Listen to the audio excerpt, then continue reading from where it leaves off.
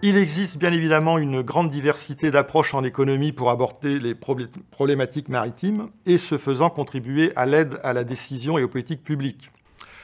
On peut par exemple utiliser l'économie sectorielle, qu'on appelle l'économie industrielle, pour analyser l'évolution des activités maritimes, ou bien l'économie des ressources naturelles renouvelables pour étudier les problèmes liés à l'exploitation des ressources halieutiques, ou encore l'économie institutionnelle pour comprendre comment les acteurs s'organisent et mettent en place des systèmes de gestion. Ici, je vais centrer mon propos sur une problématique particulière qui intéresse l'économie écologique, celle des politiques de préservation des écosystèmes marins.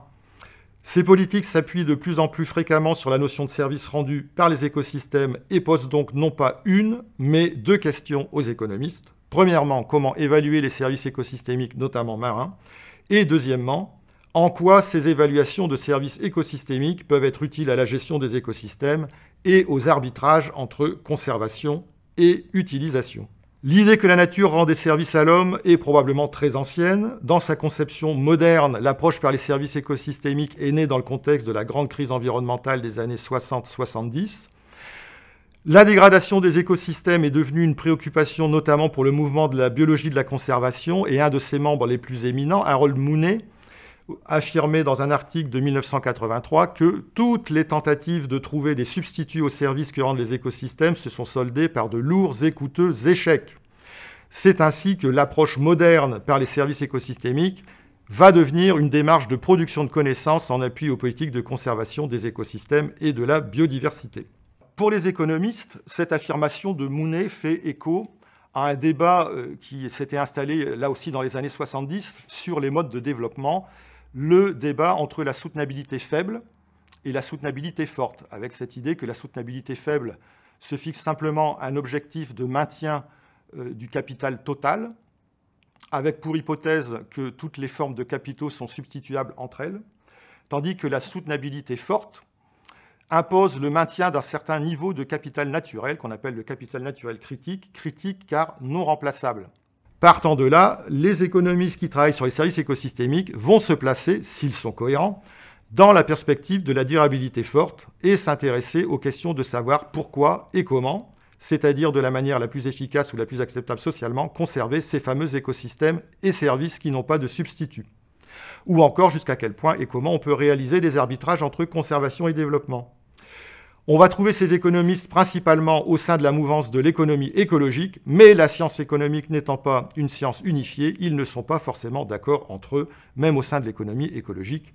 Nous y reviendrons. On classe habituellement les services écosystémiques en quatre catégories, les services d'approvisionnement, les services culturels, les services de régulation et les services de support, ces deux dernières catégories étant souvent regroupées. Les services écosystémiques sont extrêmement nombreux. Dans sa dernière version de 2018, la Common International Classification of Ecosystem Services, la CISES, en liste près d'une centaine, dont environ la moitié peuvent concerner les écosystèmes marins. Dans le cadre d'une évaluation nationale conduite pour le compte du programme EFES du ministère de l'écologie, nous avons listé les principaux groupes de services écosystémiques rendus par les écosystèmes marins en réduisant cette liste à une quinzaine de groupes de services principaux. Il existe différentes manières de mesurer ces services. En principe, une évaluation utile pour la gestion devrait distinguer pour chaque service le potentiel de service, le flux de service, c'est-à-dire la consommation effective de ce service par la société, et la demande, qui peut être différente du flux, car elle n'est pas toujours satisfaite, et peut également prendre différentes formes, on y reviendra.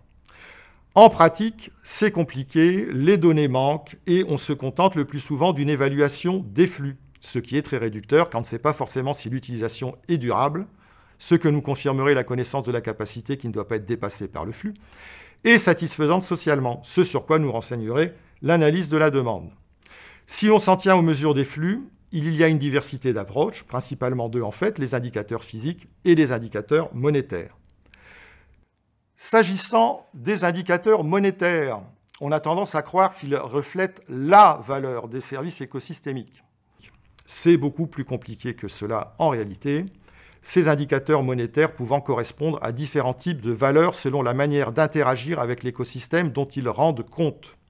De façon simple, on peut distinguer au minimum les valeurs d'usage, qui traduisent un rapport de consommation directe ou indirecte avec les services écosystémiques, et les valeurs d'existence et de legs qui vont traduire le besoin de conserver certains services ou l'écosystème dans son ensemble lorsque celui-ci apparaît très menacé à la société. Les valeurs d'usage sont en général mesurées par les prix de marché, prix de marché du poisson pêché pour les services d'approvisionnement, dépenses de déplacement des usagers des services récréatifs. Les valeurs d'existence ou de legs sont mesurées par le coût des mesures prises pour conserver un service. On parlera d'approche par les coûts de maintien, ou par les consentements à payer par la mise en place d'une réserve, par exemple. On parlera ici de méthode des préférences déclarées. Il n'y a donc pas une valeur monétaire unique des services écosystémiques, mais une grande diversité d'indicateurs monétaires qui se rattachent à des contextes socio-écologiques spécifiques et permettent simplement de mieux les comprendre. Quel est le type de demande qui s'exprime? Est-ce une demande d'utilisation ou de conservation? Et quel est l'état de l'écosystème faisant l'objet de ces demandes? Ce qui se joue avec l'évaluation économique de la nature est donc complexe. Une autre manière de le comprendre est de regarder cette courbe que l'on doit à David Pierce, on y voit que ce que mesure l'évaluation monétaire, c'est la valeur marginale de quelque chose, c'est-à-dire concrètement le bénéfice marginal, le degré de satisfaction supplémentaire que l'on obtiendrait si l'on disposait d'un petit peu plus, une unité supplémentaire, de ce que l'on possède déjà. Il faut lire cette courbe de la droite vers la gauche. Dans la partie droite, les écosystèmes sont abondants et en très bon état. Nous sommes donc déjà très satisfaits. Il y aurait alors peu d'avantages de bénéfices marginaux à attendre d'une unité supplémentaire de n'importe quel écosystème. C'est pour cela que la valeur est paradoxalement plutôt basse. Mais si au contraire nous commençons à nous déplacer vers la gauche, nos écosystèmes deviennent plus rares, les milieux naturels se dégradent, et la valeur que nous leur accordons, concrètement le bénéfice marginal qu'il y aurait à recevoir une unité supplémentaire de nature, c'est-à-dire à retourner dans l'autre sens, eh bien cette valeur s'élève, voire se met à tendre vers l'infini si nous nous approchons des seuils critiques. Concrètement, dans ces situations, les demandes de conservation prennent le dessus sur les demandes d'utilisation, ce qui nous impose d'adapter la manière dont on va utiliser l'évaluation économique.